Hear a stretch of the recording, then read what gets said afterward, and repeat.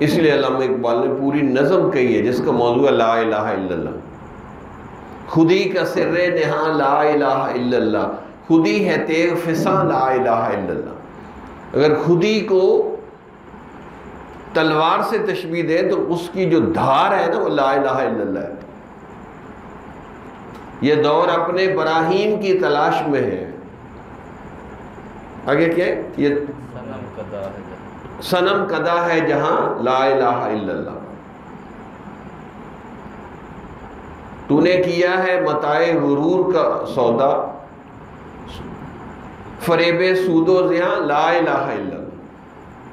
تو ہر شعر کے آخر پہ انہوں نے لا الہ الا اللہ لا الہ الا اللہ فٹ کی ہے اگرچہ بت ہیں جماعت کی آستینوں میں مجھے ہے حکم ازا لا الہ الا اللہ۔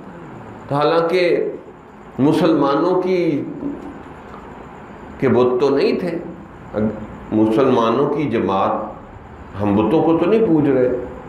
تو انہوں نے بت کیوں کہا؟ کہ نظریات کے بت ہیں۔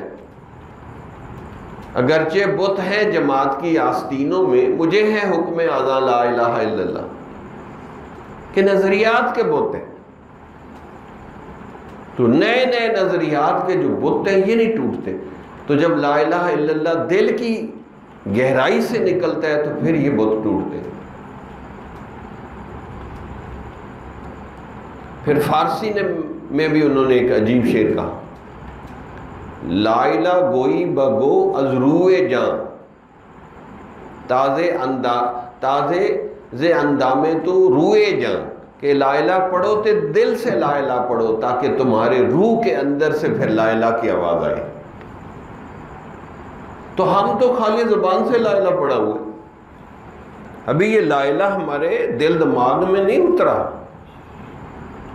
جب لا الہ دل دماغ میں اتر جاتا ہے نا، تو پھر بندہ کہتا ہے اللہ کے سوا کوئی کچھ نہیں کر سکتا۔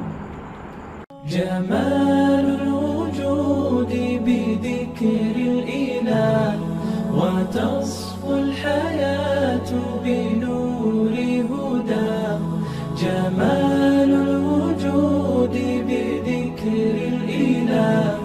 وتصفو الحياة.